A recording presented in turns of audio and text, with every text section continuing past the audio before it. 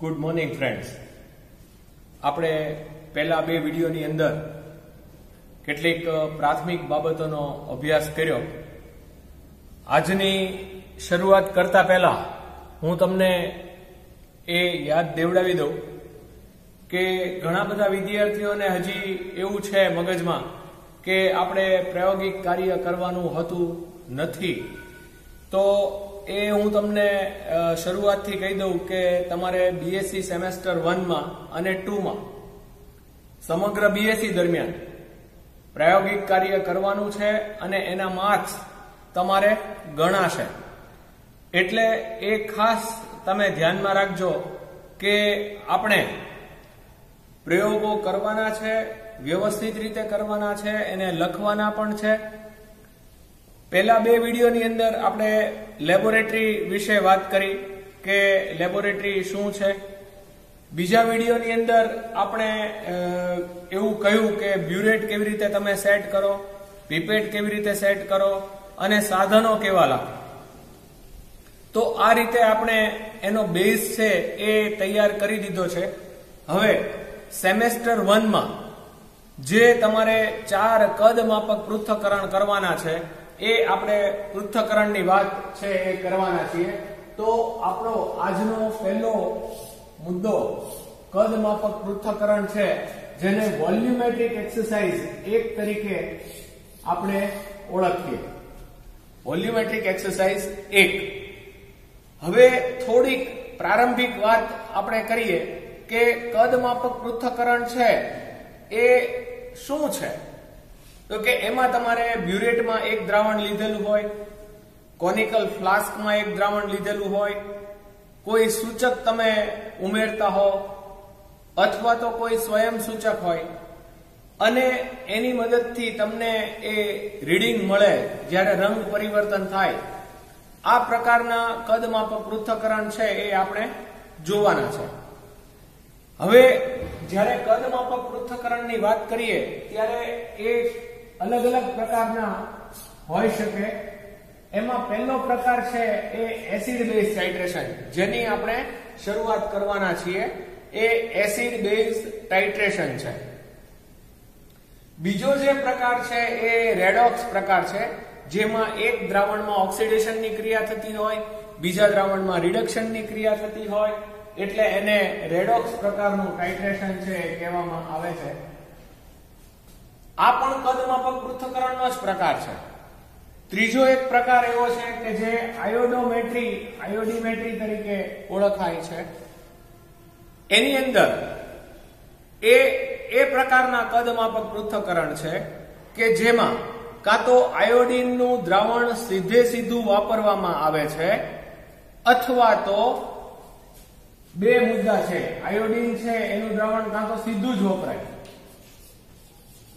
અથવા તમારી પાસે માનો કે કેઆઈ નું દ્રાવણ છે અને કેઆઈ માંથી આયોડીન છે એ છૂટો પડે અને એ કદમાપક પૃથ્થકરણમાં વપરાય, તો આ રીતે કાં તો આયોડીન સીધું વપરાતું હોય અથવા તો કેઆઈ માંથી આયોડીન છૂટું પડીને વપરાતું હોય કદમાપક પૃથ્થકરણની અંદર, તો એ પ્રકારને આયોડોમેટ્રી આયોડીમેટ્રી તરીકે ઓળખવામાં આવે છે. આજે આપણે સૌથી પહેલો જે પ્રકાર છે, એ એસિડ બેઝ ટાઇટ્રેશન વિશે વાત કરવાની છે. કેટલીક સ્કૂલની અંદર તમને લોકોને પ્રયોગો કરાવ્યા છે, તો આ પ્રકારનો પ્રયોગ છે, તમારે આવી ગયો હોઈ શકે. પણ ઘણી બધી શાળાઓમાં માત્ર લેબોરેટરી દેખાડી જ છે. હું વારંવાર એવું કહું છું કે વિજ્ઞાન છે, એ પ્રયોગો સિવાય શક્ય જ નથી. એટલે તમારે પ્રયોગો કરવા જ પડે. હવે જે સ્કૂલમાં આપણે પ્રયોગો કરાવ્યા છે, એ લોકોને તો થોડો ઘણો ખ્યાલ આવશે. સાધનોની પણ ખબર છે. જે લોકોને પ્રયોગો નથી કરાવ્યા, એ લોકોએ અહીંયા આગળ વ્યવસ્થિત રીતે સમજીને એ કાર્ય કરવાનું છે. એટલે જાગ્યા ત્યારથી સવાર એ મુજબ આપણે કાર્ય છે એ શરૂ કરીએ. તો સેમેસ્ટર વનમાં પહેલું જે કદ માપક પૃથ્થકરણ છે એ પહેલું કદ માપક પૃથ્થકરણનો હેતુ અહીંયા મેં લખેલો છે. મિત્રો, તમને લોકોને પીડીએફ પણ મોકલેલી છે. અને આ ઉપરાંત, તમારે જો હાર્ડ કોપી બુકની જોતી હોય તો વર્ધમાન બુક સ્ટોલ અહીંયા આગળ આપણે આતાભાઈ જે રોડ છે, ત્યાં આગળ તળાજા રોડ પાસે એની દુકાન આવેલી છે. ત્યાંથી તમે લઈ શકો છો. એટલે જર્નલની અને જે કાંઈ બાબતો તમને કહેવામાં આવે, એ તમારે જોવાની છે. હવે, આપણે જે હેતુની વાત કરીએ છીએ, કદમાપક પૃથ્થકરણ પહેલું, સેમેસ્ટર વનની વાત છે. એનો હેતુ છે પોઈન્ટ વન મોલર HCl ના દ્રાવણની મદદથી એક્સ મોલર એનએઓએચ અને વાય મોલર H2SO4 ના દ્રાવણની મોલારિટી અને ભાર સાંદ્રતા શોધો. મિત્રો, અત્યાર સુધી તમે જે પ્રયોગો કરતા ને, એમાં તમે નોર્માલિટી શોધતા હતા.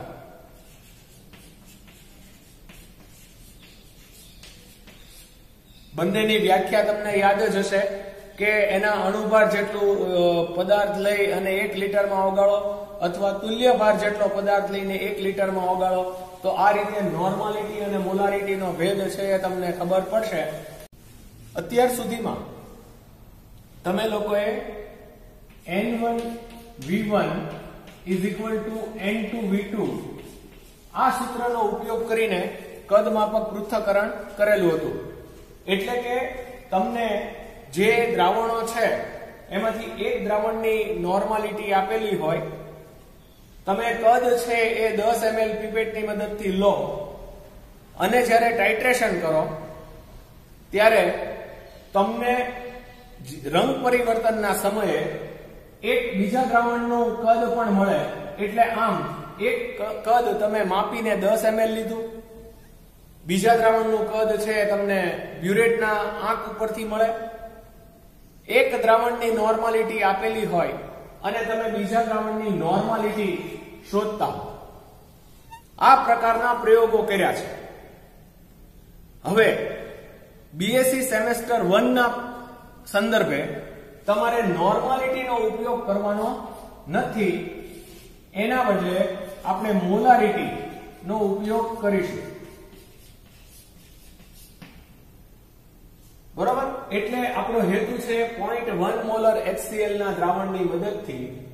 X મોલર NaOH અને y મોલર H2SO4 ના દ્રાવણની મોલારિટી અને ભાર સાંદ્રતા શોધો.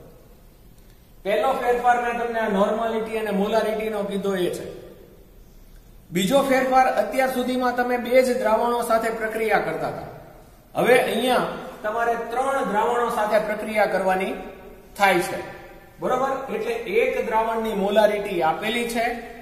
એ દ્રાવણની મોલારિટી ઉપરથી તમારે બીજા દ્રાવણની મોલારિટી શોધવાની છે અને બીજા દ્રાવણની મોલારિટી ઉપરથી ત્રીજા દ્રાવણની મોલારિટી શોધવાની છે અને ભાર સાંદ્રતા પણ શોધવાની છે. કેલ્ક્યુલેશનનો ભાગ આપણે છેલ્લે રાખીશું. પણ પેલા પ્રયોગ કેમ કરવો એ આપણે સમજીએ. તો સ્વાભાવિક રીતે હેતુ ઉપરથી આપણને ખ્યાલ આવે છે કે બે દ્રાવણોની મોલારિટી શોધવાની હોય તો આ પ્રયોગ છે એ બે ભાગમાં વહેંચાયેલો છે. હવે બે ભાગમાં વહેંચાયેલો છે તો આપણે ભાગ એક ની વાત કરીએ કે ભાગ એકમાં આપણે શું કરીશું? તો ભાગ એકમાં આપણે કયા દ્રાવણો જોશે? તો કે અહીંયા આગળ તમને પોઈન્ટ વન એચસીએલ આપેલું છે. એટલે 0.1 મોલર એચસીએલ જોવે. બીજું જેની મોલારિટી શોધવાની છે એ એક્સ મોલર NaOH નું દ્રાવણ આપણે લેશું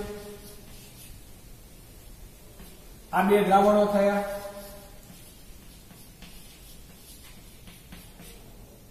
ત્રીજી વસ્તુ. આપણે સૂચક તરીકે ફિનોપ્થેલિન વાપરશું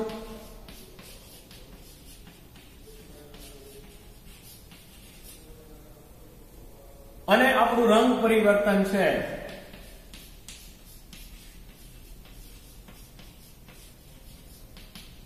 એ ગુલાબીમાંથી રંગવિહીન થશે મિત્રો, આપણે ઘણી વખત પ્રયોગો કરીએ ને ત્યારે રોબોટની જેમ પ્રયોગો કરે જ રાખીએ. કે એમ કીધું કે ભાઈ તમે આ બ્યુરેટમાં આ દ્રાવણ લ્યો એટલે આપણે લઈ લીધું. પીપેટની મદદથી આ દ્રાવણ લ્યો એટલે લઈ લીધું. કોનિકલ ફ્લાસ્કમાં નાખો. આ સૂચકનો ઉપયોગ કરો એટલે આપણે કરી લીધો. પણ આપણે ત્યાં મુશ્કેલી એ છે કે આપણે આખા પ્રયોગને સમજતા નથી કે એમાં ખરેખર શું છે. જો અહીંયા આગળ તમને હાઇડ્રોક્લોરિક એસિડ આપ્યો છે, એટલે એ એસિડનું દ્રાવણ છે. અને બીજું જે આપણે લઈએ છીએ બેઝનું દ્રાવણ છે. આપણે ફિનોપ્થેલિન લીધો. માનો કે તમને કોઈ પ્રશ્ન પૂછે કે શા માટે તમે ફિનોપ્થેલિન જ સૂચક તરીકે લીધો? આપણી પાસે તો ઘણા બધા સૂચકો છે. તો તમને એનો જવાબ ખ્યાલ આવવો જોઈએ કે ફિનોપ્થેલિન છે એ કઈ પીએચ રેન્જમાં કામ કરે છે. એટલે પ્રયોગ તો આપણો સાવ સાદો છે. પણ એની અંદર તમે જો જાણવા માંગો તો ઘણી બધી ડિટેલ છે, સમાયેલી છે કે આપણે કેમ મિથાઇલ ઓરેન્જનો ઉપયોગ ન કર્યો? શા માટે ફિનોપ્થેલિન જ વાપર્યો શા માટે બીજા કોઈ સૂચકોનો ઉપયોગ નથી કરતા? તો એ તમને ખ્યાલ આવવો જોઈએ કે ફિનોપ્થેલિન છે એ કઈ પીએચ રેન્જમાં કામ કરે છે. તો એની સાથે તમે જ્યારે દ્રાવણ લ્યો ત્યારે હાઇડ્રોક્લોરિક એસિડ એટલે એસિડિક પીએચ રેન્જમાં આવશે. જેની પીએચ છે એ છ કરતા ઓછી છે. જ્યારે તમે એનએઓએચ દ્રાવણની અંદર હશે, ત્યારે એની પીએચ છે એ વધારે છે. એ લગભગ આઠ ઉપર સાતથી આઠ ઉપર એની પીએચ છે એ જોવા મળે છે, બેઝિક દ્રાવણ છે. તો આ રીતે ફિનોપ્થેલિન છે એ આ પીએચ રેન્જમાં કાર્યરત છે. રંગ પરિવર્તન, ગુલાબીમાંથી રંગહીન જો આ વસ્તુ તમે સમજો તો તમને ખ્યાલ આવશે કે ફિનોપ્થેલિન છે ગુલાબી રંગ કોની સાથે આપે? સ્વાભાવિક રીતે ફિનોપ્થેલિન ગુલાબી રંગ છે એ બેઝ સાથે આપે છે. અને બેઝ સાથે આપે એનો અર્થ એમ કે આપણે ફ્લાસ્કની અંદર શું લેવાનું છે? તો કે ફ્લાસ્કમાં આપણે એનએઓએચનું દ્રાવણ લેશું. કેમ કે એનએઓએચ બેઝ છે અને બેઝમાં તમે ફિનોપ્થેલિનના ટીપા ઉમેરો એટલે ગુલાબી રંગ આવશે. રંગવિહીન ક્યારે બને? જ્યારે દ્રાવણ એસિડિક હોય ત્યારે. તો આ આખો જે ભાગ છે, એ એ રીતે આપણને જોવા મળે છે કે પહેલા ભાગની અંદર આપણે ડ્યુરેટની અંદર હાઇડ્રોક્લોરિક એસિડ ભરીશું. કોનિકલ ફ્લાસ્કમાં આપણે દસ એમએલ પીપેટની મદદથી એનએઓએચનું દ્રાવણ લેશું, જેની મોલારિટી આપણે શોધવાની છે. સૂચક તરીકે આપણે ફિનોપ્થેલિન વાપરશું અને રંગ પરિવર્તન ગુલાબીમાંથી રંગવિહીન છે. જે પ્રેક્ટિકલ બુકની પીડીએફ તમને મોકલેલી છે, એમાં આખી પદ્ધતિ સમાવેશ કરેલો છે, એટલે આખી પદ્ધતિ હું અહીંયા લખતો નથી, પણ કેવી રીતે રીડિંગ લેવાના છે, એ હું તમને સમજાવીશ. મિત્રો, હવે આપણે પહેલા ભાગનું રીડિંગ કેવી રીતે લેવું એ દર્શાવી રહ્યો છું. How to take the reading for the first part so first of all we are taking water to rinse the urate and we are not adding it directly આપણે એને સીધું ઉમેરતા નથી પણ આપણે ફનેલ લેશું અને ફનેલને સેજ ઊંચી રાખી અને થોડું પાણી ઉમેરશું we are checking that burette is not leaking simultaneously we are rinsing it આપણે જોયું કે અહીંયા આગળ બ્યુરેટ છે લીક થતી નથી. અને સાથોસાથ આપણે એને રિન્સ પણ કરવાની છે. તો આ રીતે આપણે રિન્સ કરી અને પાણી છે એ કાઢી નાખીએ.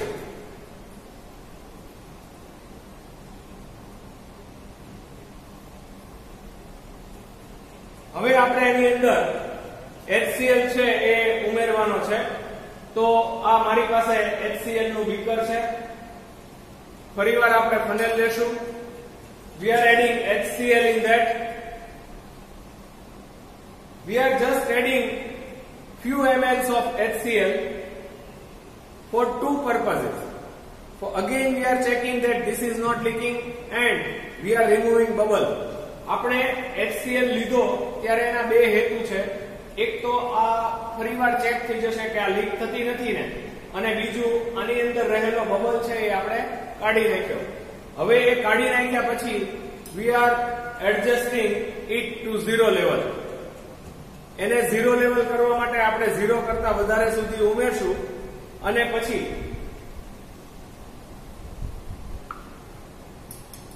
ફનેલ કાઢી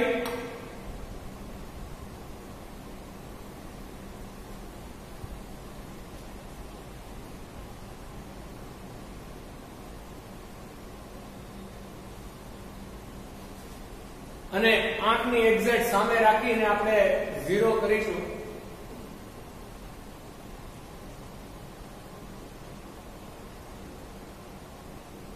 બ્યુરેટ ઝીરો લેવલે થઈ જાય એટલે આપણે એને સ્ટેન્ડમાં આપણી ઊંચાઈ પ્રમાણે ગોઠવી નાખશું. અહીંયા આગળ જો તો મને એ પ્રેક્ટિકલ કરવા માટે એકદમ વ્યવસ્થિત છે. જો ન હોય તો મારે એને આગળ પાછળ અથવા તો ઉપર નીચે કરવી પડે. બરોબર? હવે we are taking NaOH in the flask so first of all we are releasing with the water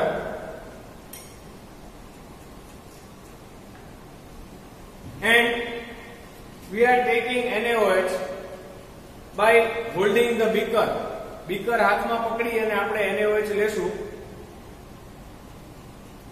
પદ્ધતિ તમને ખબર છે આ મેં શીખડાયું છે કેવી રીતે લેવાનું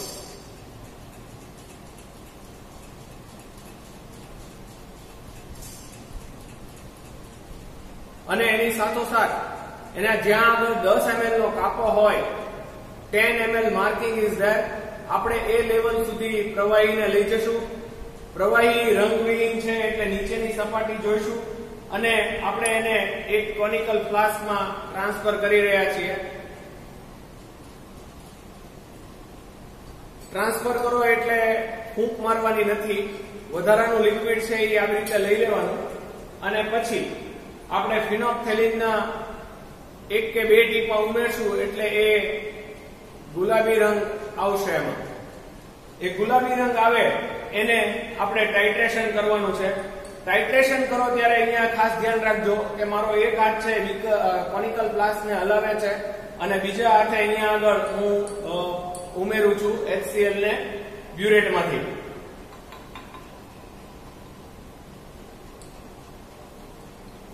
જો આ સતત હલતું રહે છે, આપણે એવી રીતે એચસીએલ છે એ ઉમેરવાનો કે જેથી કરીને અહીંયાથી ડ્રોપ વાઇઝ જે સોલ્યુશન પડે અને તમને આ આખી પ્રોસેસ છે જો દેખાઈ રહી છે.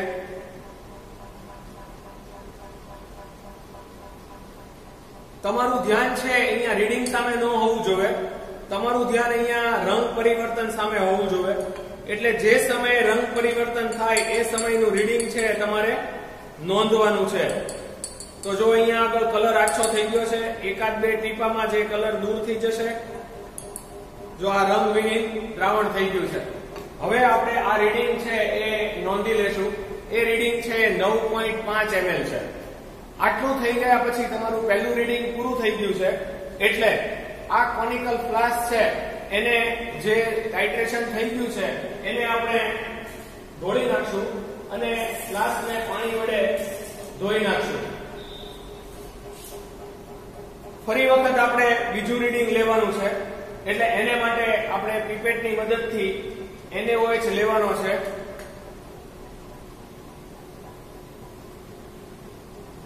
Up to the 10 ml marks. We are taking it and adjust the level. 10 ml નો જ્યાં આગળ કાપો હોય ત્યાં નીચેની સપાટી આવે એ રીતે લઈ લેવાનું. પછી કોનિકલ ફ્લાસ્કમાં દ્રાવણ લઈ લેવાનું. આ બીજી વખત થઈ રહ્યું છે એટલે તમને એક્ઝેક્ટલી આઈડિયા આવી જશે. આ થઈ જાય એટલે તમારે ઇન્ડિકેટરના એક કે બે ટીપા ઉમેરવાના છે.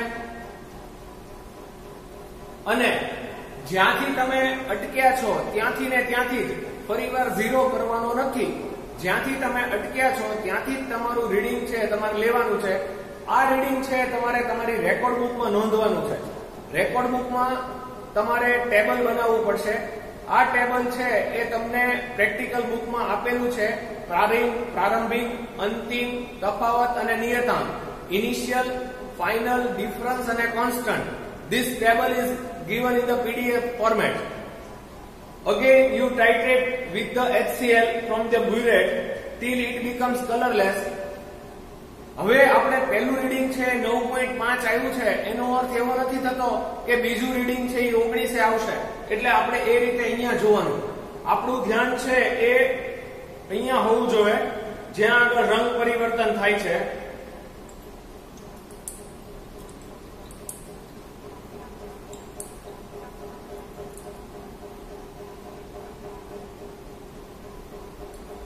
જો ફરી વખત રંગ પરિવર્તન થઈ ગયું છે, હવે આપણે રીડિંગ છે એ જોઈએ.